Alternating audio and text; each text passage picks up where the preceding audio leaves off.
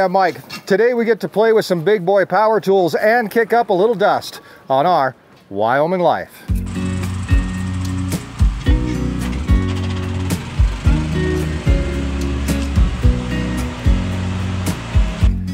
Hi there and welcome back. Thanks for joining me once again as we continue on with 30 days with 30 vlogs right here on our Wyoming Life.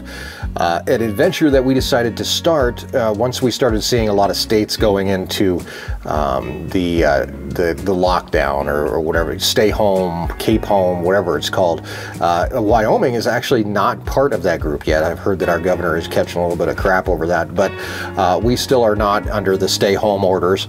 Uh, we have pretty pretty open travel uh, options and that kind of stuff. But uh, he has came out uh, yesterday. I think he did a press release. Our governor did and said that uh, it's time to to maybe uh, lock things down a little bit. So we'll see what what comes out of that. Really, what and how it's going to affect the ranches is all to be told. We don't really know yet at this point.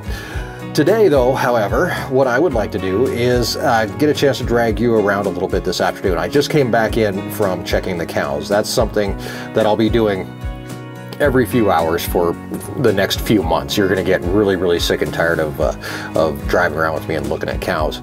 But we are heading into calving. We are officially now two days away from the first due date uh, of any cow on the ranch. Now, those due dates were set by me in my first time preg checking, uh, but you know, I mean, I could be close, so we're going to find out. We also have um, some weather coming in. We have uh, four to six inches of snow on the way in the next couple days. I think our high temperature is right around two degrees uh, on Thursday, which today it's it was 60 today. So I think that was our high that we reached today. Uh, wind is starting to blow outside. It's starting to get a little bit breezy. About 40 miles an hour is how fast the wind is blowing. We call that breezy here in Wyoming. And that pretty much uh, shows that we do have weather on the way. The wind is actually blowing out of the west, so uh, we, we definitely have uh, some weather on the way because normally our winter winds would blow out of the north. So we have something something coming. Don't know what it is, and uh, we're hoping to be able to drag you guys along for the rest of that as we uh, continue with our 30 days of 30 vlogs. So today, uh, since I'm not going to drag you around and make you check cows unless something happens, and then I'll I'll come back and grab you or whatever. But uh, we do have a few little housekeeping things that we want to take care of before the storm gets here. Now, the pigs are gone. They left yesterday, so that's one thing we don't have to worry about. We still have a run, but uh, he's pretty pretty well self-sufficient back there in the barn. Um, but we do have some stuff over at the gardens that we're going to try to take care of before uh, this frost hits, this, this next freeze. And the reason is that uh, we want to clean up one of the high tunnels get it all cut down, get it all kind of tilled in, and um, and then let it freeze so that it kills any bugs or any anything else that might be in there. For that, we're going to use the BCS and the flail mower in a way that we've never used it before. Uh, usually we use it as a uh, as a weed cutter or something like that that we can go through and cut tall grass with. Um, today we're going to use it as more of a mulching tool as we're going to put it right down into the ground. We're going to see how that works and that's coming up in just a little bit. Also we're going to go out and uh, see what else we can find and what other trouble we can get into. So since we have to uh, get started with the BCS, we have to go over here and find it. And the BCS we parked in the fall. You may remember uh, we ran this contraption on it, which is the potato digger, uh, the infamous potato digger. And uh, that's where it sat after we got done digging potatoes. It hasn't been drug out yet.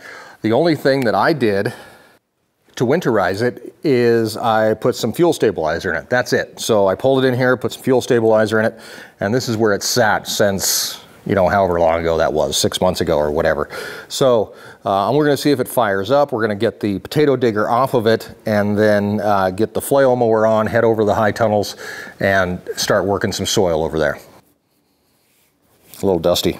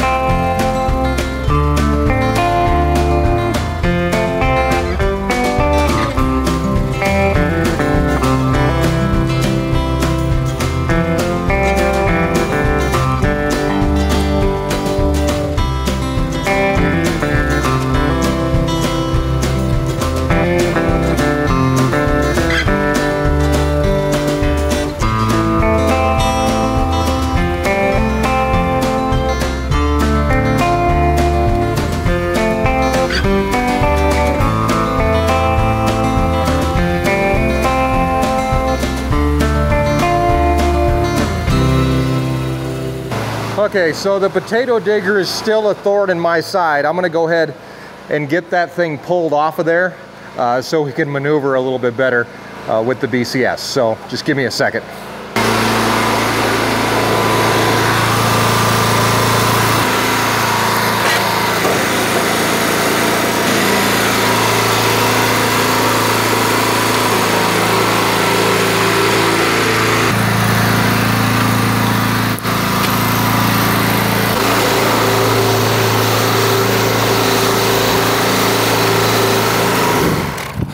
Okay, so now it's starting to rain. So I'm actually glad we're gonna be working in the high tunnel a little bit and get us out of this, whatever this is. So let's get this done. We'll get the flail mower hooked up.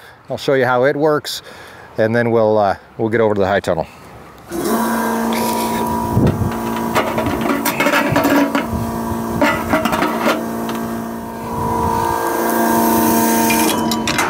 Never mind, don't need gas.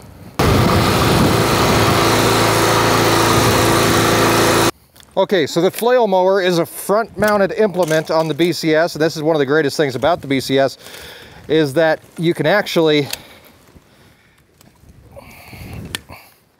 spin the handlebars on it. If I can remember which one it is, there it is. And run front mounted implements quick and easy. And this is the flail mower and maybe once we get over in the high tunnel I'll, uh, I'll show you how it works. And you want to see something crazy? Check this out. I don't know if you'll be able to see it or not. There's a pretty good rainbow going on. Right over there.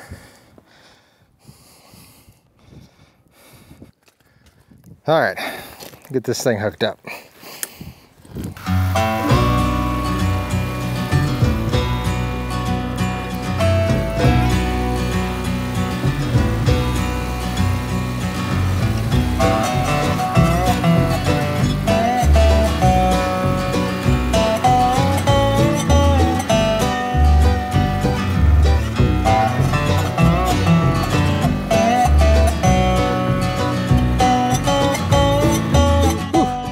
much nicer in here. Okay, so this is the high tunnel we're gonna be taking care of. And what we're gonna do is just roll through here with the flail mower. And basically it should, we should be able to take out all of this that's been growing pretty much over the winter.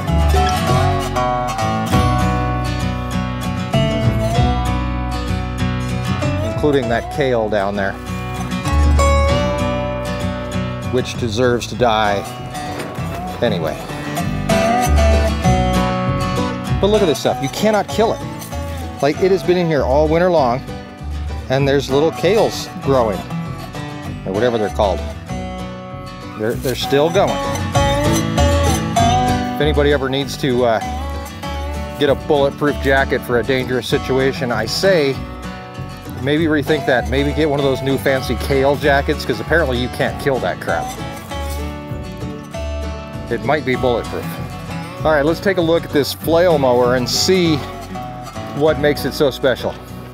The flail mower is kind of a cross between a lawnmower and a rototiller. And the reason is, I'm gonna try to get you underneath here and see, is these blades. As they spin, obviously they chew up everything that they come in contact with, including kale. And what we're gonna do is we're gonna set them all the way as low as we can with this thing. We're gonna set this thing all the way down and hopefully be able to dig out the roots, the plant, and mulch basically everything all in one pass. At least that's the hope.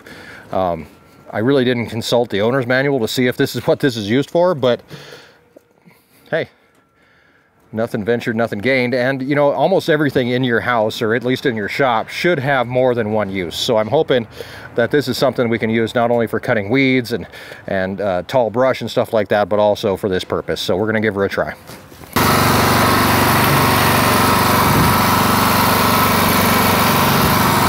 Well, that works. We'll just take all the pressure completely off those wheels.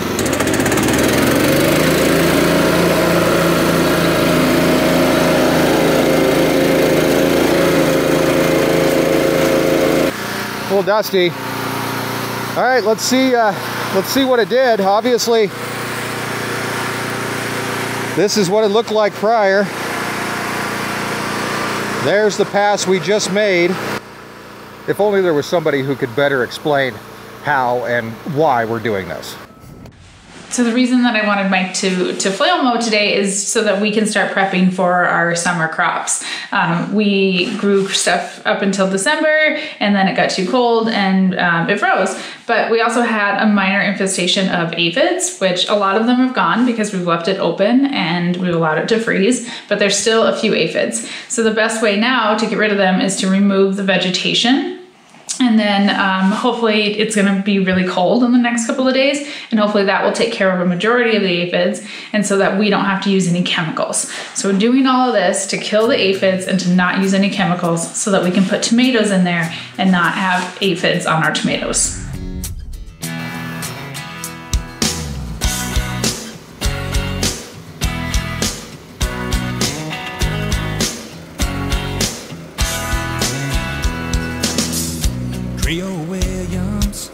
Lived down a dirt road.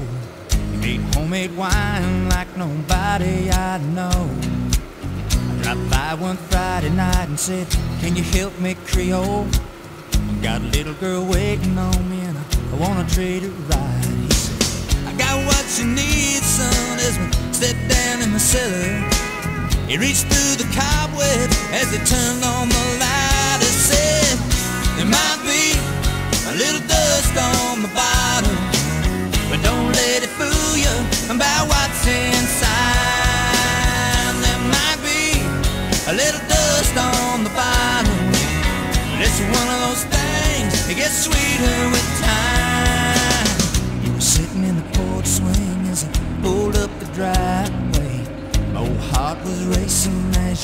Climbed inside. You slid over real close at me drove down to the lake road.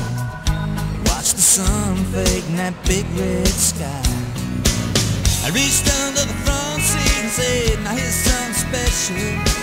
It's just been waiting for a night like tonight. Oh, there might be a little dust on the bottom, but don't let it fool you about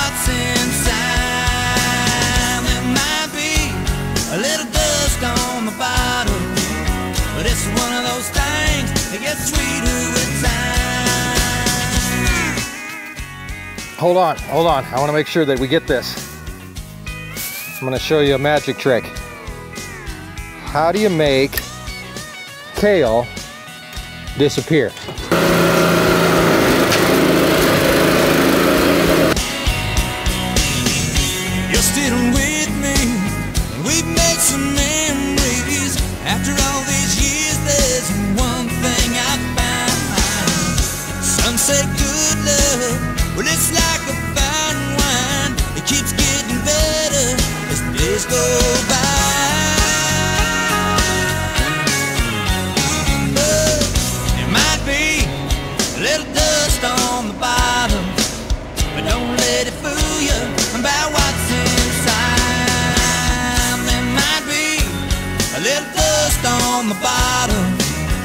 It's one of those things that gets sweeter with time. There might be a little dust on the bottom. But don't let it fool you about what's inside. I'll run over you again. There might be a little dust on the bottom. But it's one of those things that gets sweeter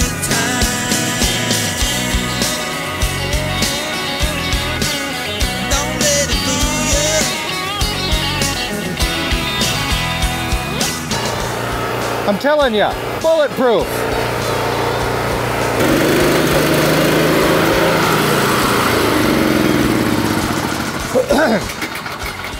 All right, I know I said we'd go find something else to do when I was done with this, but really I just need a shower and nobody really wants to see that. So we're gonna call things good for today. Uh, thanks for continuing along with us. 30 days of 30 vlogs. Be sure you subscribe so you don't miss a thing. We have some very cool stuff coming up in the next couple weeks, including, and if see if you're with me on this, a 24 hour long live stream that takes place right in the heart of calving, and you get a chance to come along with me for that.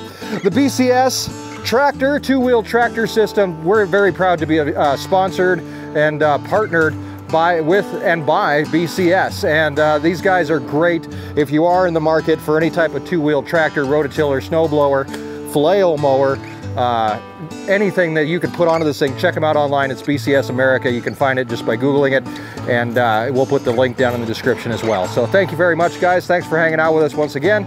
We'll see you tomorrow for another vlog in the 30 days of 30 vlogs right here on Our Wyoming Life. Shower time.